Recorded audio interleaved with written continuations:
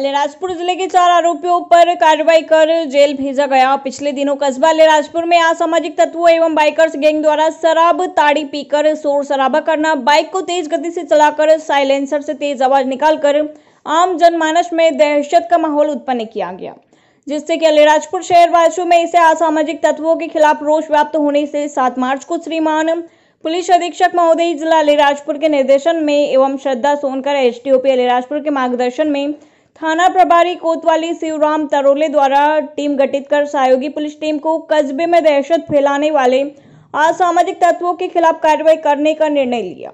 असामाजिक तत्वों को चिन्हित कर धरपकड़ की कार्रवाई कर बदमाश सुनील पिता सरदार उम्र 20 साल, निवासी बोराना पटेल फलिया, आशीष पिता दिलीप सिंह उम्र 19 साल, निवासी अकलू प्रदीप पिता माधु, निवासी इंदर सिंह की चौकी, सुखराम पिता उगरिया कनेश उम्र 21 साल, निवासी अकलू के विरुद्ध कार्रवाई कर एसडीएम न्यायालय अलीराजपुर पेश किया गया। न्यायालय द्वारा जेल वारंट जारी करने से उक्त बदमाशों को जिला जेल दाखिल किया गया। व बाइकर्स गैंग के अन्य असामाजिक तत्वों की भी पुलिस द्वारा सरगर्मी से तलाश की जा रही है। मिलने पर उनके विरुद्ध भी प्रभारी कार्रवाई की जाएगी। अलीराजपुर से मोहन चौहान की खास रिपोर्ट।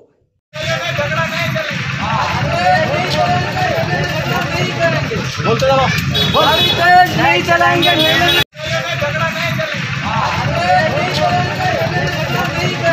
बोलते जाओ नहीं चलाएँगे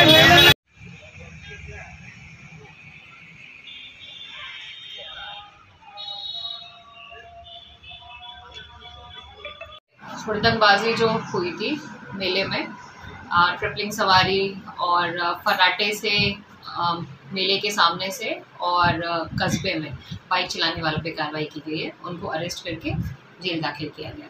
मैम आगे अगर कोई ऐसी ऐसा घटना करता है या ऐसा कर कंटिन्यू रहेगा। अगर कोई ऐसी हरकतें करता है तो कार्रवाई करके उनको जेल दाखिल किया जाएगा मैडम अभी तक कितनी गिरफ्तारी हुई है? हम्म, आज के दिनांक में चार हुई है। इसके पहले दो और हुई थी। और कब तक जारी है ये ये तो कंटिन्यू रहेगा। पुलिस का काम है ये कंटिन्यू रहेगा।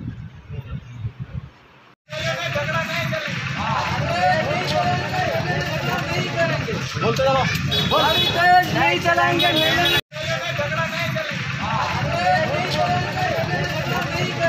बोलते जाओ नहीं चलाएँगे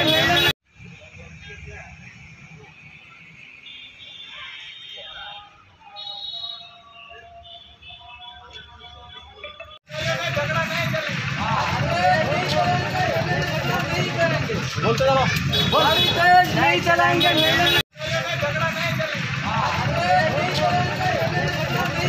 बोलते जाओ नहीं चलाएँगे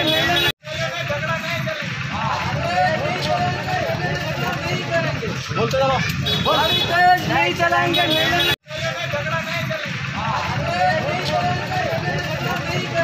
बोलते जाओ नहीं चलाएँगे Subscribe now and press the bell icon.